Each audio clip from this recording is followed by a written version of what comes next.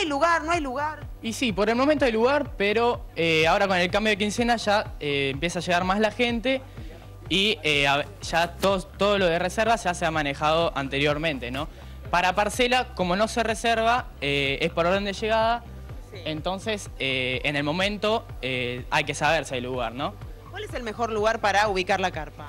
Y yo siempre sugiero cerca de los baños, ¿no? Para tener una mayor comodidad, o por ahí más cerca de la proveeduría, para no tener que alejarse tanto. Bien. Hablamos de 70 pesos, ¿qué incluyen esos 70 pesos? ¿Las parrillas, los baños, el lavadero? Esos 70 pesos incluyen una parcela, como la que acaban de mostrar, con un fogón y un tomacorriente, eh, y luego el uso de los baños, también tenemos proveeduría, carnicería, kiosco, lavarrap, restaurante. Mirá cómo está ese sector, yo quiero mostrarte, Qué lindo, qué Guille. completo, Se ve que es ¿eh? uno de los buenos. Está completísimo bajo el árbol, también para buscar un poco de sombra, es así. Sí, y sí, porque los días de mucho calor, que es esta, más de esta temporada, eh, se sugiere más eh, bajo la sombra porque eh, si no el calor pesa, ¿no?